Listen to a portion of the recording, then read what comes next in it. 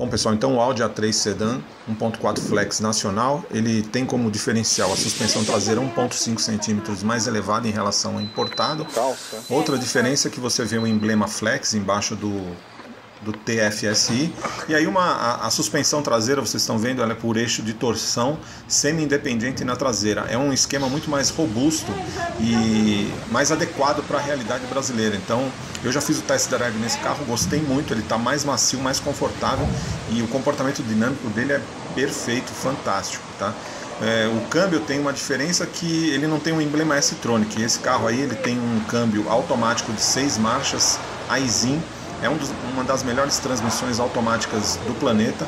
A Audi tirou o S-Tronic, que era um automatizado de dupla embreagem, sete marchas, né, que fazia um ruído a hora que você andava em pisos de baixa é, qualidade. Esse aí não faz barulho nenhum, zero. Eu já fiz o test drive no carro, ele está mais ágil. Você passa em qualquer tipo de piso, não houve barulho nenhum, as trocas muito suaves.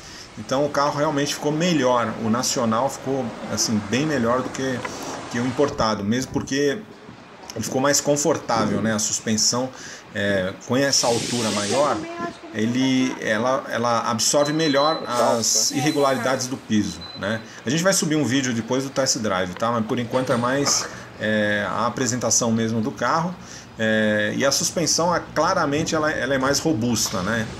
E ela tem uma vantagem que esse tipo de suspensão aí, ele não, ele não desalinha a roda traseira. Então é uma, é uma suspensão muito mais adequada para a realidade do Brasil, né?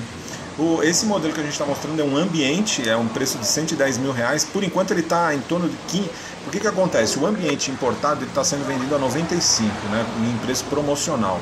Esse aí tem a vantagem de ter um motor 1.4 flex com 28 cavalos a mais. Você percebe claramente que ele é mais ágil que o outro, né? Mesmo porque esse daí não tem aquele lag de baixa rotação, porque o câmbio ele tem um conversor de torque, então ele, ele, ele, ele consegue neutralizar aquele, ele, aquele lag, né?